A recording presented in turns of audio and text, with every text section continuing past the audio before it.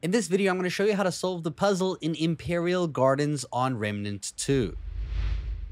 So this is the puzzle right behind me. Now this one requires that you do four symbols. You can see here we're lining them up at the top in the middle in this little section here. There are four symbols to choose from. It does not matter the order. The symbols are relevant to what you can find in your game. You'll find four locations that have these symbols. As you've been exploring, you'll no doubt have seen these blue symbol things like this.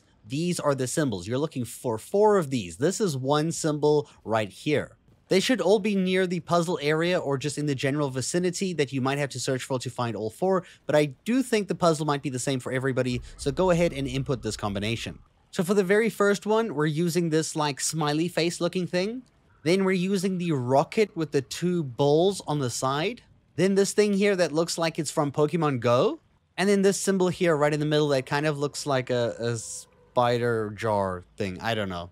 Now, it doesn't matter which order you put these in, but when you put them like this, at least all four of these kinds, and you press F and activate it, it will open up this doorway and you can go down here to collect a reward. I hope you guys enjoyed this video, and thank you so much for watching.